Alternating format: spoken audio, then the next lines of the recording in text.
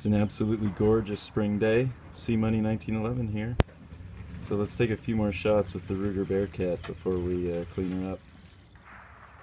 So the idea here is to alternate small plates with the big plate.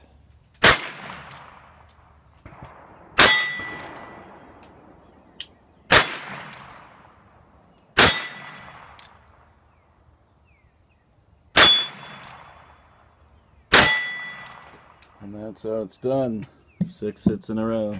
Alright, let's see if we can do it again with the three small plates on the right, alternating with big.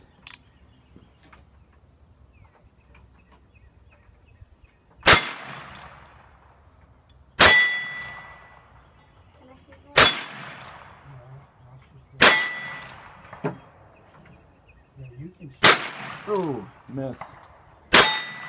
That's almost how it's done. Did you notice the death defying bird fly across the line of fire between shots?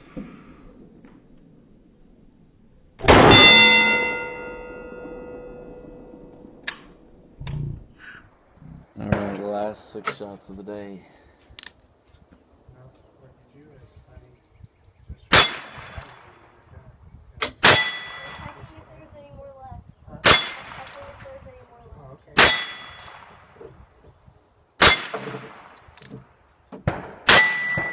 That's how it's done. Six in a row once again on the small right side plate. So that was the Ruger Bearcat.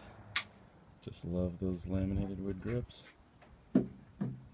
C Money 1911. That's how it's done.